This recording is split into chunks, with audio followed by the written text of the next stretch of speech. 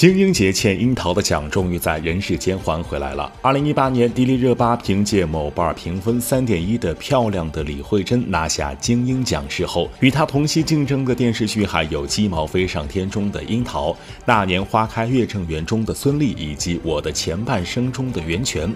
颁奖典礼上，作为颁奖嘉宾的吴刚和侯勇在台上的反应可以说明一切。在看到获奖名单时的不可思议，侯勇直接哇的一声站战术后退。不光是台上的二位尴尬，台下的反应更是好笑。王刚一脸意味深长的微笑，坐在观众席上的樱桃面无表情。虽然说迪丽热巴在九零后小花之中演技不算差，但跟这些前辈还是没有可比性的。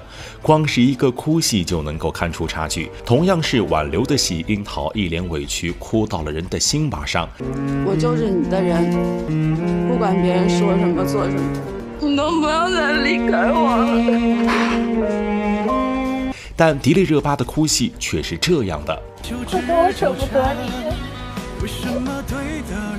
看完之后，只能说果然鸡毛飞上天的高收视不是白来的。还有不少网友评论，迪丽热巴凭借一己之力拉低了金鹰奖的公信力。樱桃成功拿到白玉兰奖，事后奖杯在登台颁奖的那一刻，樱桃的一席话狠狠打脸了金鹰奖评委。所以我没想到这届的评委这么有眼光。而在今年的金鹰奖晚会上，樱桃凭借《人世间》拿到了金鹰奖奖杯，可以说是终于将欠他的荣耀。还给了他。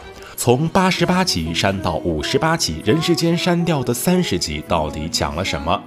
电视剧版《人世间》对原著进行了适当的改编，剧中很多人的结局都和原著不同。虽然周南的下线依然让人无法接受，不过总体来说结局还算圆满。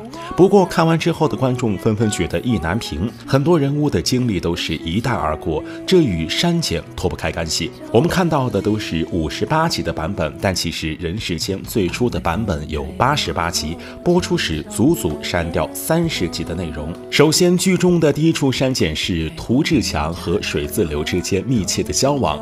第二集中，编剧大篇幅地呈现了周炳坤和涂志强之间的友情。在涂志强的枪毙现场，水自流给他戴上了帽子。相信当时有很多小伙伴都有这样的疑问：这个人是谁？和涂志强是什么关系？竟然敢冒着风险把帽子给死刑犯？这些疑问的答案就藏在郑娟的这句台词里。涂志强。喜欢的不是我，他跟我结婚是为了女人。再加上这隐晦的画面，可以看出涂自强喜欢的不是女人。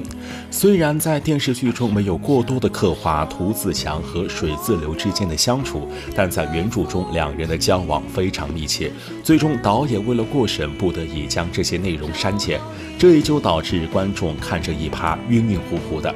其二就是冯化成和周蓉在法国的经历。冯化成和王子在出国后发生了什么？他又是为什么回国？又去了？贵州的四遍出家，这些在电视剧中都没有交代，全部删掉了。在原著中，周蓉知道冯月被冯化成带到法国后，马上放弃了蔡晓光和自己的事业，去了法国找女儿。在他到法国的第二天，冯化成就以无力抚养为由，把冯月交给了他。周蓉在异国他乡生活十二年，在这十二年中，她身兼数职，东奔西走，可以说是那个时代的独立女性典范。但这些全部都一剪没了，观众只是看到周蓉自私的一面，甚至在剧播后，原作者梁晓声都说对不起宋佳。除此之外，你还知道哪些删减呢？虽然陈道明在《人世间》和《人民的名义》中没有出镜，但却担任了其中最重要的角色。如果李璐的人生中注定遇到一个贵人，那这个贵人就是陈道明。在2016年，李璐筹拍《人民的名义》时，因为资金短缺，男主的片酬只能开到两百万，于是。他就找到好友陈道明帮助。陈道明看完剧本之后，痛快的就答应了出演。结果在临开拍时，李璐又对陈道明说：“不用你演了，我又找到一个合适的男生，也就是最终出演侯亮平的陆毅。”自己的角色被陆毅顶替了，陈道明虽然不服气，但在听了李璐的解释后也没有生气，反而是替李璐介绍到了吴刚、侯勇等一众老戏骨，并且还没事就往剧组跑，当起了李璐导演的助理，时不时还会提出自己的表演意见。在《人民的名义》大火后，导演李璐在一次采访中说自己想拍出一部像《平凡的世界》那么伟大的作品。在一次偶然间，他看到了梁晓声的人世间，颇为感动。这不就是自自己想找的小人物的悲欢离合吗？于是就有了把这部剧影视化的念头。在李璐找到作者梁晓声后，两人促膝长谈，一拍即合。梁晓声很快决定将作品授权给他，并向他承诺自己丝毫不干涉电视剧创作。但是把一百一十五万字的鸿篇巨制改编成电视剧，又谈何容易？这对编剧的要求非常高。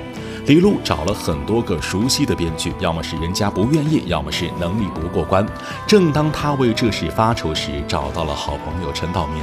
陈道明也被小说中刻画的人物所感染，于是思来想去之后，就把编剧王海玲推荐给了李璐，并且还答应了承担电视剧中的旁白工作。当时王海玲已经六十六岁，本来不想再接这个超大工作量了，但在她看过原著之后，被周家人的故事所吸引，这才答应了下来。于是，一部伟大的作品《人世间》由此诞生。